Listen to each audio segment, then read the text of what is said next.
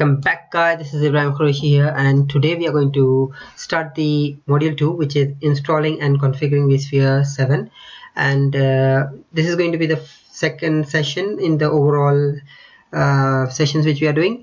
For those of you who don't know me, I'm Ibrahim Quraishi and uh, I am teaching you VMware from the beginning. So uh, let's get started. Course content these are the modules. If you haven't seen this uh, check out one of the previous video which has all the modules and the full agenda. I'll put it uh, the link in the description below if you want to check it out. But module 2 is installing configuring vSphere and vCenter server. So today we are going to check out downloading how to download vSphere 7 and also vCenter 7 from VMware website. So we have a lot of modules to go through. So without wasting any more time let's get started. So first thing we are going to do is register and download the vSphere and then also the vCenter server while we are at it. And then we are going to look at installing and configuring the v uh, the ESX server. So let's get started. Open the browser. So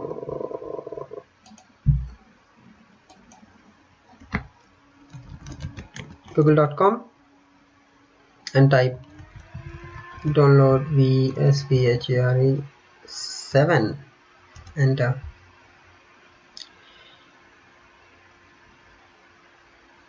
Download vmware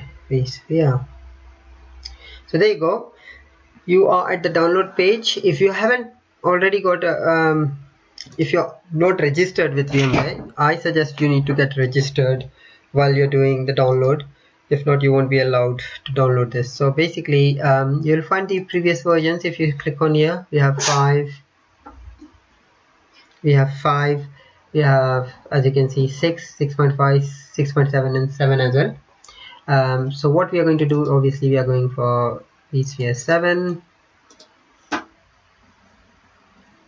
and then now you will be asked to log in.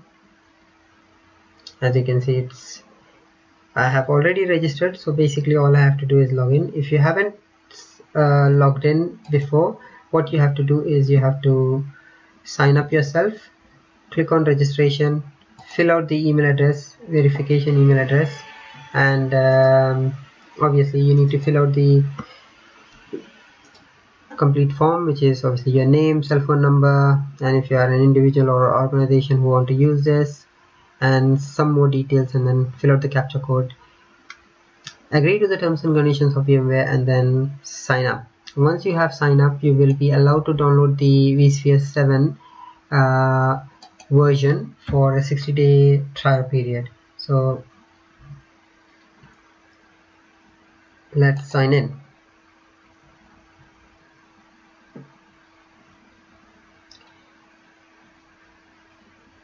As you can see you get the download link here. You need to click. So there are obviously different licenses here. You can see the essentials the essential plus standard enterprise and enterprise plus.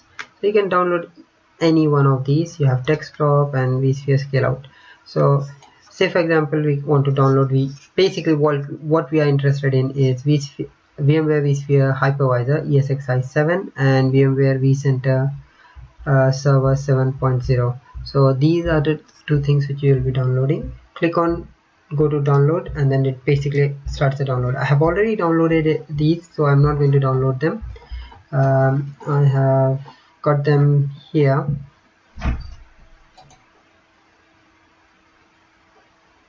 In softwares and then VMware. ESX7 in the same folder I have got vCenter server and also ESX7 so that's how you register and download uh, the vCenter server but and also ESX so let's quickly show you. If you click on download it will take you to the download link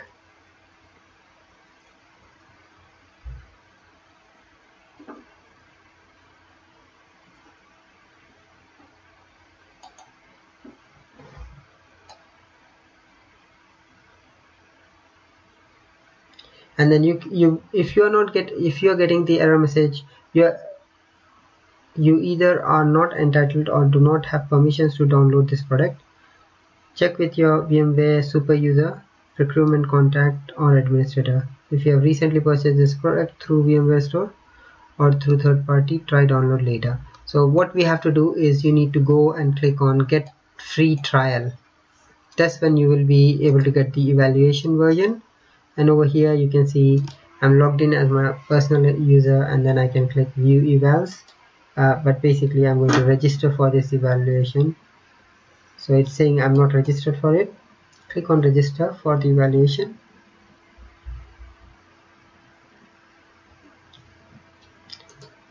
And then basically it takes you to the end user agreement to accept the evaluation which you are going uh, to do. So please if you want sales to contact you you can select that. If you don't then you can leave it and to agree the terms and conditions. And um, I will just put my name for community name. And then we'll go ahead with the captcha HCS accept the terms and conditions to join the community. And then okay so it does have that name which I have. So I think the username is matched. So that is optional. So let's remove that and it allowed me to download.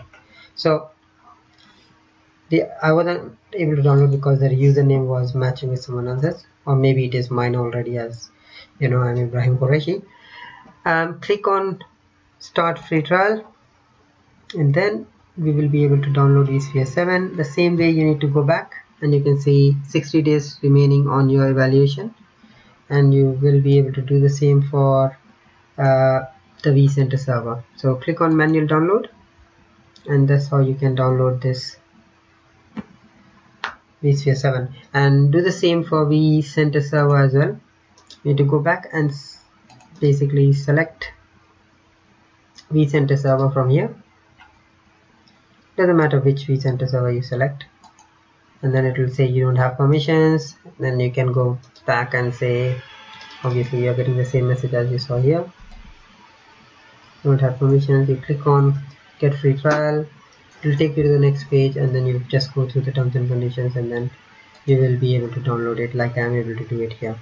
So as we are downloading this now I have two sessions uh, which I'm going to create. One is uh, for doing an ESX and one which is going to be uh, on my physical Dell desktop. Yes that's correct. Desktop which I'm going to install ESX7 now the version of uh, the desktop model which I have is uh, uh, quite old. I bought it last year. I was running 6.7 and it was the CPU was compatible with it and it still is compatible with version 7 however you get I get another message saying going forward it might not be supported because uh, vSphere 7 is trying to discount because it's trying to discontinue the older CPU models and obviously support newer more advanced CPU models. But uh, so stay tuned to check out both these videos. One I'll be doing the nested hypervisor and the second one which is going to be uh, uh, it will be me it, you'll see me and my desktop and I'll show you how we can go through the installation Uh, as a new installation and I have done a similar version for upgrade which you'll enjoy I hope. So be sure to subscribe click the notification button and also hit the like button if you like this video. Thanks a lot. Enjoy watching and keep sharing. Cheers. Bye. These are the reference. So that's it for now guys. So we have done the download.